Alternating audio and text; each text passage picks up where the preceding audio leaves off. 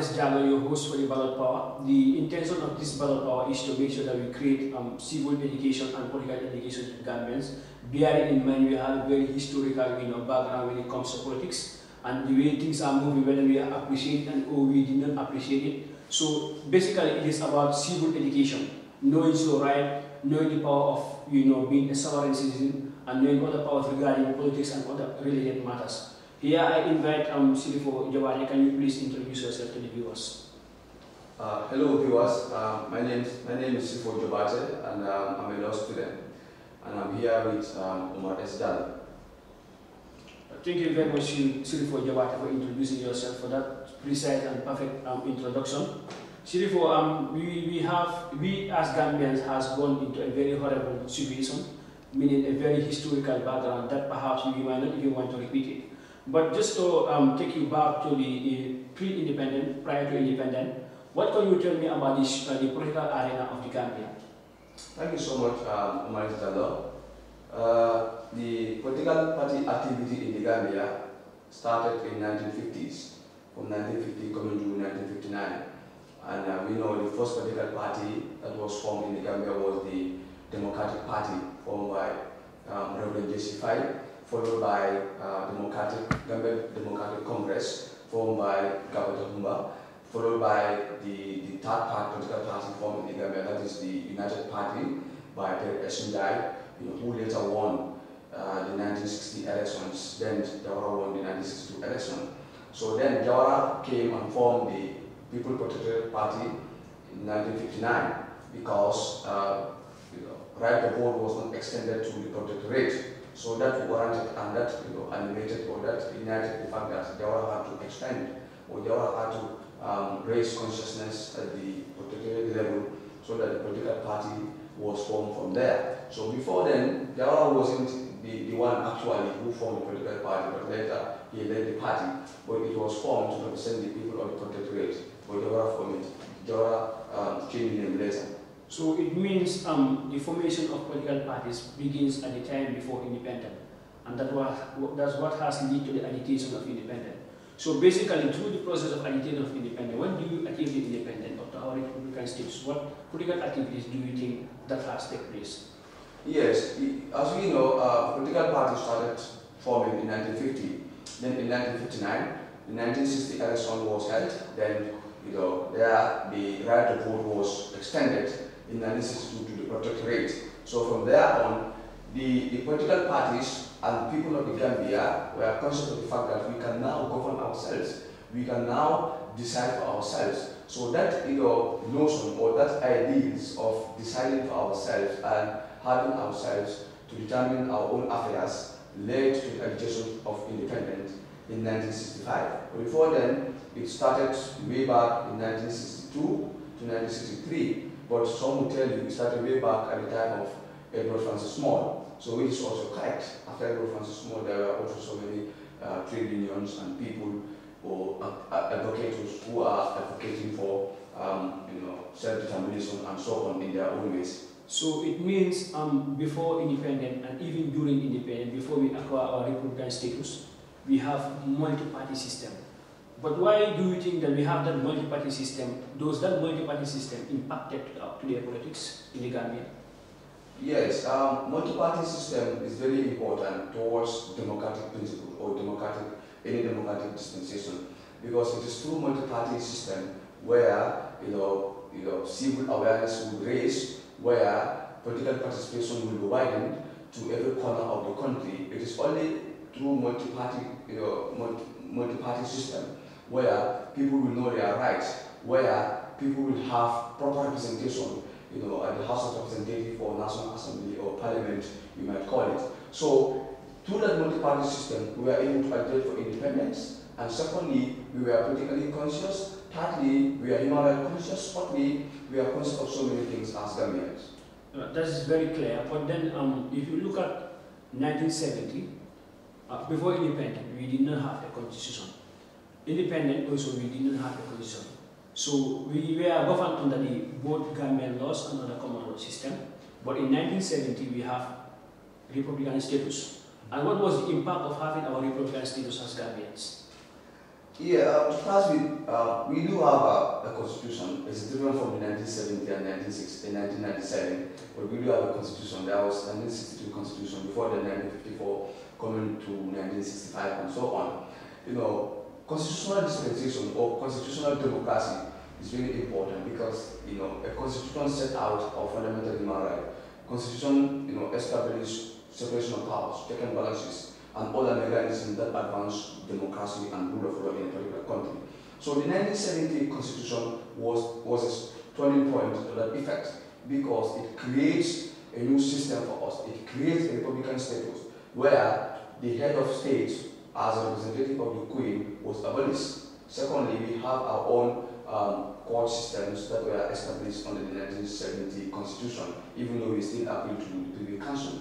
Then we also have a House of Representatives that is just Gambians. Likewise, other public institutions that is just Gambians. So you can see the 1970 constitution is very important.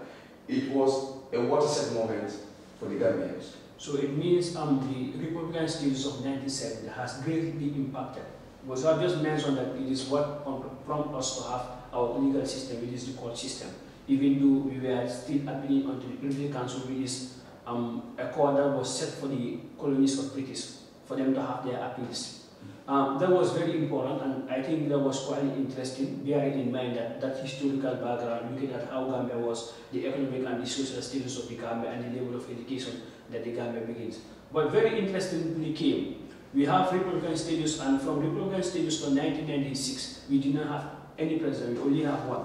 So why do you think that we have only one president from, for the almost 92 years in power when we have multi-democratic uh, party system in the Gambia? But it was only one political party that was able to handle power. Why do you think such happened?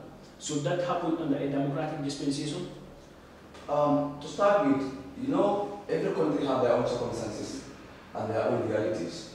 You know, for example, in the United States have a term limit. You, you come and serve full term, you are gone. But the Gambia, it was not the, it was not the case. You know, this platform is very important because this platform is raising political awareness and so on and so on.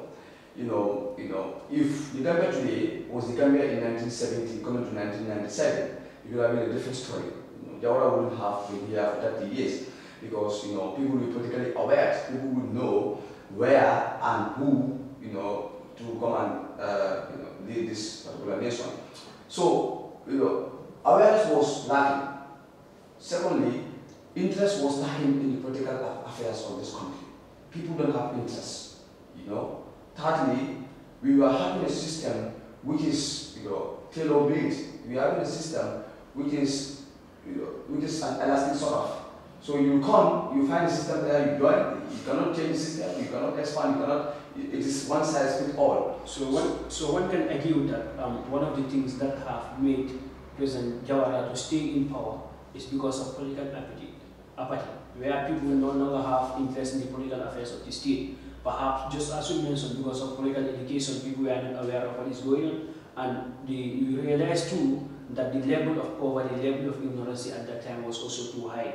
Therefore, it will be very easy for to have a self-perpetuating rule that will be in progress, and you know there was no time limit and other stuff.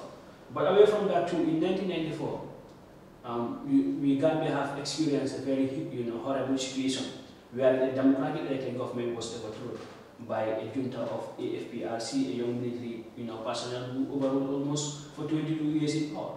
So why do you think if the Gambia have almost the, a very good historical political background before, they were able to have you know, a military coup that successfully been in the power to the extent of them serving for more for 22 years? What was the logic behind? Yeah, as I said, to start with, political participation and awareness was lacking. You know, um, we voted Jawara for Jawara to realize our wishes and our aspirations, social amenities to be provided, uh, institutions to, strong institutions to be established, likewise other democratic values to be respected, education to be um, advanced, and other things that will develop a particular country. Jawara, in a sense, failed in that aspect. So at some point, people have to rise up. I'm not supporting the, the, the, the overthrow of Jawara, but at some point, people have to rise up to, to say, hey, this has to stop. So you, you, you, suggesting, you suggesting there was a semblance of democracy in military government, uh, military know, junta to take over the government. No, There was some semblance of democracy, meaning totally it does not actually go in conformity with democracy, but there was a reasonability of doing so. No, I, I, wouldn't say that, but um, to the contrary, I would say that Jawara stayed for a very long time, and Jawara did not realize what you he was voted for. That is one, to provide education, to provide educational facilities for us. Secondly, social amenities to provide freedom. You know, because as we know, freedom is something that is not, you know, with regards to have provisions under the constitution. No, freedom is with demand. Freedom is with you know, ability to be able to decide for yourself, to be able to distinguish what is wrong and right and who is good and who is not good for you. So the other was not able to lead Gambia to that direction. That's why we are in this situation. The problem of the Gambia is not from Gambia or Barrow. The problem of the Gambia started way back in 1960. So we have to go back to 1960, correct that and come back. If not, it, it's, it's a problem. But there, definitely time is not with our side to go back to 1960 and address it. But in so long as we are faced with problem, we have to look for a solution. So long as we recognize the problem, now we have to look for solution. Um, Jammeh came into power. Um, when he came, he introduced a new constitution. And that constitution is called the 1970 constitution. That constitution has made a lot of progress. If you want to compare a little, don't go deep, but just to compare with the 1970 constitution to realize whether there was an impact or whether there was no impact as to regard to the 1997 constitution and the 1970 constitution. Well, there was a big difference between the 1970 and 1997 constitution because as I stated, we appealed our cases to the Privy Council in England. The 1997 constitution changed that. You know, there was you know, a lot of provision added in terms of human rights in the 1997 constitution than the 1970 constitution. Likewise, there was a lot of things put in place under the 1997 constitution that were not in the, 1990, the 1970 constitution. You know, if time is on our side, I will have get deep into those things specifically to be able to tell you that this is what is provided under the 1997 constitution and it is not under the 1970 constitution and this is why it was it is provided and this is this was why it was not provided under the 1970 constitution. But time was time time is yeah, you, you um, that that is clear and but then you look at how um, that 1997 constitution came into being. Um, you realize that it only serves the interests of those that are living. And that is why they should have made like is regarding some democratic principle, such as the separation of power, which was um, there. But if you look at term limit, it was cardinal when it comes to modern democracy at the moment. But they failed to do it in, in the 1997 constitution. What do you think? I think 1970, the 1997 constitution was there to make sure that the person in power remains to be in power. What, what do you say to that? Well, to start with, you know, determinants for better democracy and good democracy differs in countries. Yes. You know, I wouldn't, I wouldn't define the democracy of the Gambia to that of the democracy of the United States. Term limit is not something that is, you know, a major determinant of a democratic state. You know, England, they have monarchy, for example. You know, there are some countries that are counted as democratic countries, they don't have term limit. In Africa, what warranted term limit is because we have series of coup So to stop that coup we have to come to say, oh, let us stop people from staying for a long time so that we can also stop this other side of the of the of the country, not to come and create these people. But so I, I, I will disagree with you initially for the simple fact that um, if you said the, the differ, democracy differ in different aspects in different parts of the world, but there are principles in democracy that are applied generally. And it is, one of the principles is um, the, the, the right to vote and be voted for. But also, under modern democracy now, there should be a time limit. As part of the modern, uh, modern principle of democracy, if that is not there under the modern democracy, under the, this 20, uh, 21st century, then your democracy cannot be regarded as democratic fully. Because there are values, if, if you call your nation a democratic state, there are values that you must observe. The right to vote and to be voted fundamental human rights, separation of power, you know, term limit, occupying, you know, giving the National Assembly their function, which is on the separation of power, the executive judiciary. So I will, I will definitely say that um, if the Gambia determined to be a democratic dispensation in 1994, then they should have include certain fundamental, you know, pillars of democracy. So to, to, to start with, you know, I, I, you disagree with me, that is fine. To start with, you see, um, there are so many democratic principles.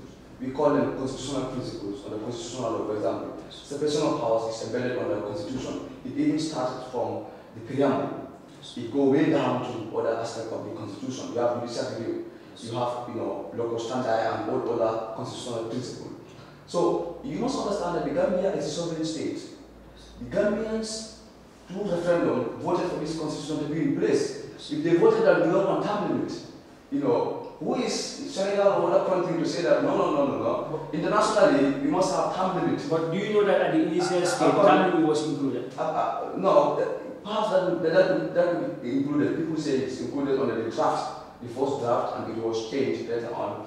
But, you know, that's a whole different topic of it all, you know. But, but what I'm saying in a sense is, you know, for example, I take England as, as a case. They still have a monarch.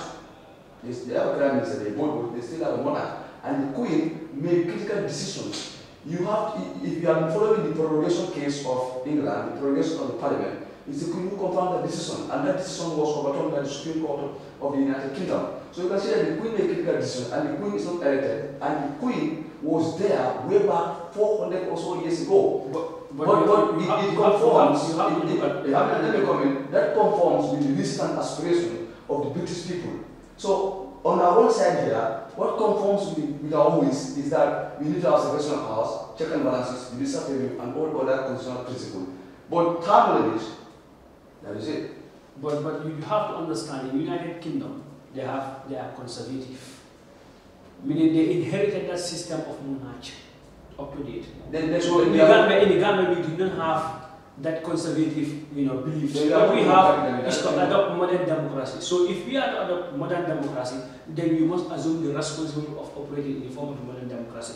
And I know that is the reason why perhaps Jammeh stay too long in power. Uh, but away from that too, we saw Jammeh has gone. Now, we, in 2016, we had a very successful presidential election, and then you know how it went. Can you explain how 2016 election went, the political impasse and other related matters?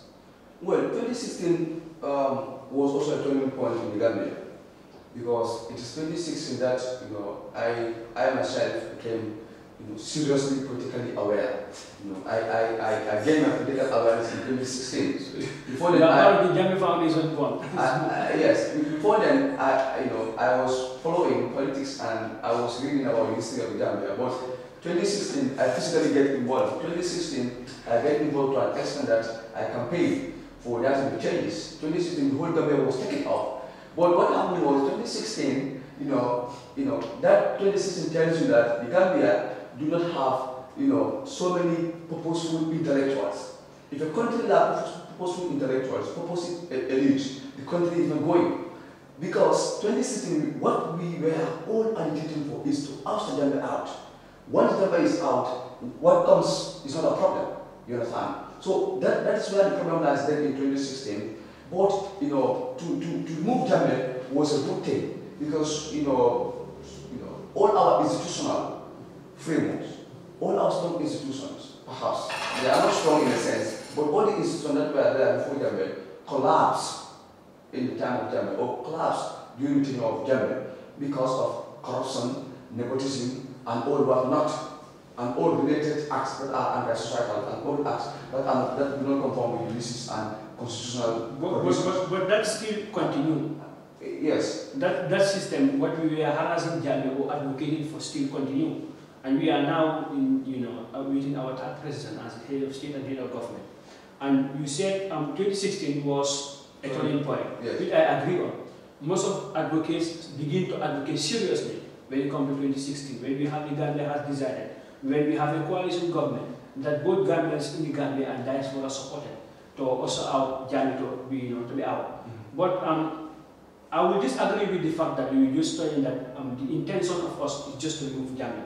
Because there was an agreement of the coalition, and you see some of those agreements at, the- uh, at the moment being implemented. And those were some of the things that, were, that was part of their manifesto.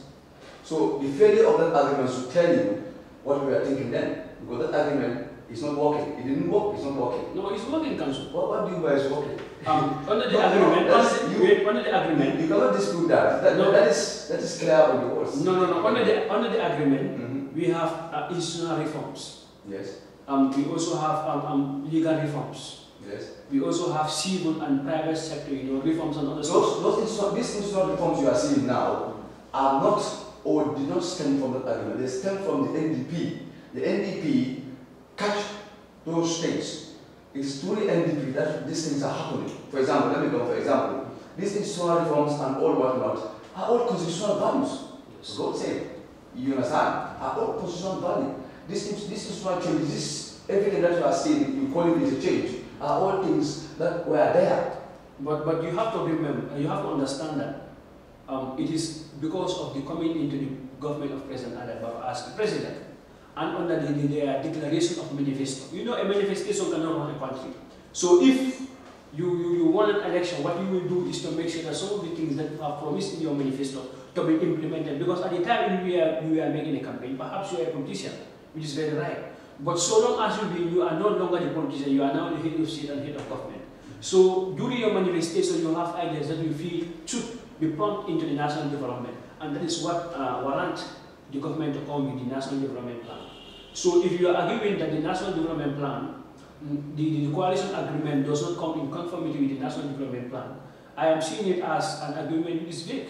No, I'm not saying that. On the contrary, I'm saying the National Development Plan or overshadowed the coalition agreement. That's what I'm saying. You, maybe you get me otherwise. But that's what I'm saying. I'm saying now because you say that the, the coalition agreement have some institutional reform promises that is going on now. I'm saying no, no, no, no, no. That's not the case. What, what is the case is under the under the National Development Plan, we have institutional reforms and all whatnot, which is carved out by the president of the nation after he was in that office. You understand? So what I'm saying is the coalition agreement, some of the cardinal you know, principles of the coalition agreement were not adhered to. How many laws are, are, are, are, amended? How many laws are enacted? Still we are waiting for anti-corruption bill. Still we are waiting for other things. Where are they? You are, you are saying institutional reform. Where are they? How many institutions are reformed right now? Thank you very much, Council. Uh, we will have this episode cannot be continued because of time. But uh, we just been appealing to the viewers to understand the level of you know our speaking because this is just a matter of um, trying to educate and these are intellectuals of different divergent view and public opinion matters a lot. Perhaps uh, we might say something that might be in contradiction of your opinion, but this is how modern democratic operates. And we, oh, we are not citing away any principle that is in accordance with how we believe as a government we should be governed. Um, thank you very much, Council, and thank you very much for me having you here. Thank you. Thank you.